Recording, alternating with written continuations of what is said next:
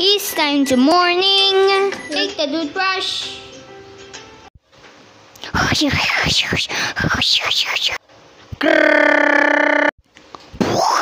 So nice and clean. It's time to eat.